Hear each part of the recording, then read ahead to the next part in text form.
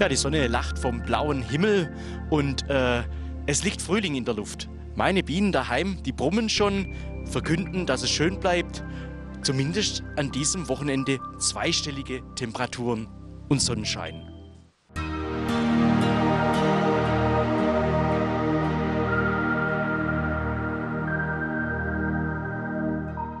Das frühlingshafte Wetter geht weiter. Zwar startet auch der Samstag mit Temperaturen um den Gefrierpunkt herum, im Lauf des Tages erwärmt sich die Luft aber auf bis zu 12 Grad.